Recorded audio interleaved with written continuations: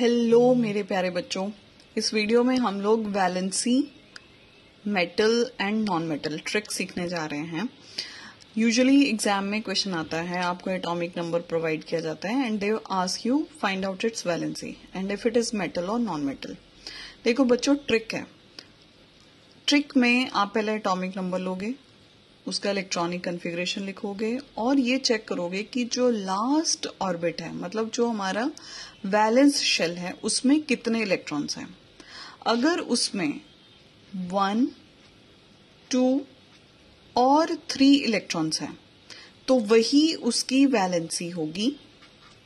वही उसकी वैलेंसी होगी और वो एलिमेंट एक मेटल होगा।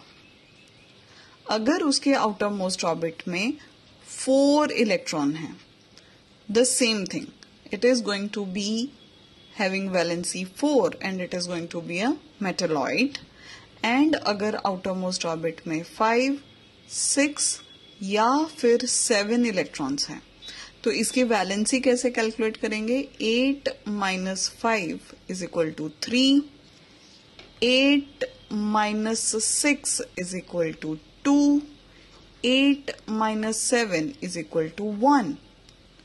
3, 2, 1 is going to be its valency and all these are going to be non-metals. So, let's start the practice.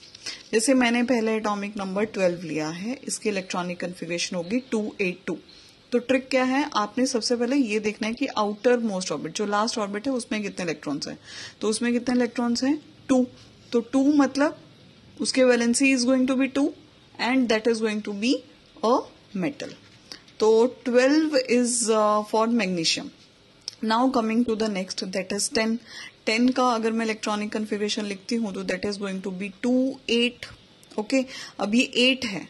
Eight की वैलेंसी के लिए हम लोग क्या करेंगे? Eight minus eight that is is equal to zero means it is not going to lose any electron और going to gain electron it is a noble gas it is a noble gas coming to the next that is seven अगर electron electronic configuration लिखें तो it is two five और five का मैंने आपको trick क्या बताया था कि अगर आउटर मोस्ट ऑर्बिट में पाँच छह या सात इलेक्ट्रॉन होते हैं तो उसको एट में से सब्ट्रैक्ट करना होता है. सो so, मतलब इसके वैलेंसी ढूंढनी है तो हम फाइव को एट में से सब्ट्रैक्ट करेंगे. So valency is going to be three and and and it is going to be a non-metal.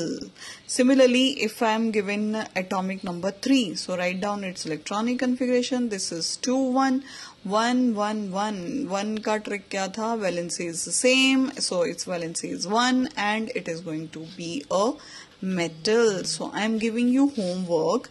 You guys have to write the valency and if it is a metal or non-metal. So you uh, write out if atomic number is 6 if uh, atomic number is 13 and uh, next uh, if uh, it is 15 and uh, if it is going to be 19 so do it and uh, this is your um, practice question and let us discuss this in the class